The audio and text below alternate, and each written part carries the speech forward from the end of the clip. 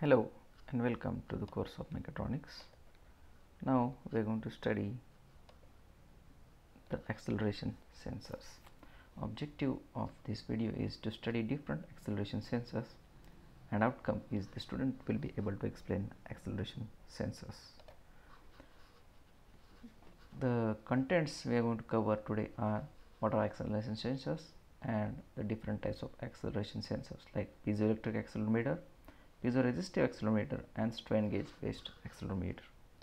So let's start with accelerometer. An accelerometer is a transducer that is used to measure the physical or measurable acceleration that is made by an object. An accelerometer is an electromechanical device that is used to measure the specific force of an object. A force obtained due to the phenomenon of a weight exerted by an object that is kept in the frame of reference of the accelerometer.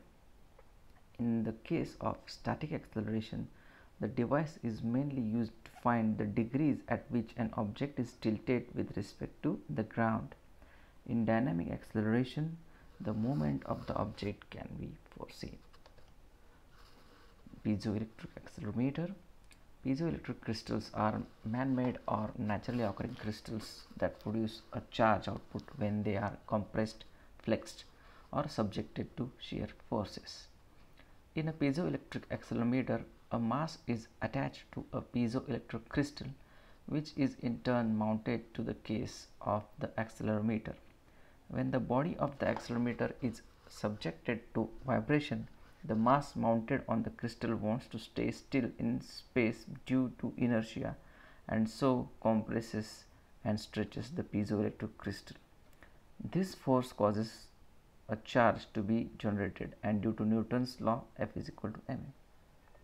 This force is in turn proportional to acceleration.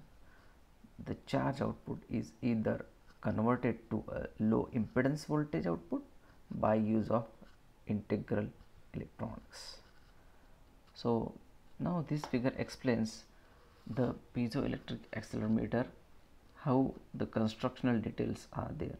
So, on the solid base there is a piezoelectric element is placed and over that piezoelectric element the seismic mass is mounted and at the two ends of the piezoelectric element the electrodes are mounted. So, from those electrodes we can get the output. So, as the acceleration as shown in the diagram is given the seismic mass tries to stay at its position due to inertia which exerts pressure on the piezoelectric element and due to which there is a generation of voltage small impedance voltage on the output electrodes here and that will be again proportional to the acceleration which is provided to the uh, system and that will be sensed by this piezoelectric accelerometer. Now piezoresistive accelerometer.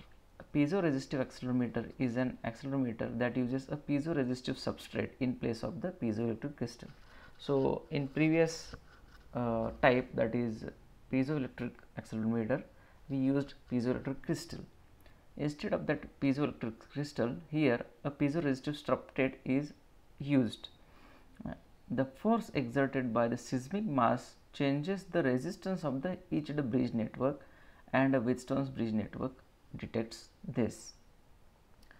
So, here in that substrate we can use a strain gauge like structure whose resistance can be changed because of the inertia of the seismic mass and that will be detected by bridge network. Piezoresistive accelerometers have the advantage over piezoelectric accelerometers in that they can measure accelerations down to 0 hertz.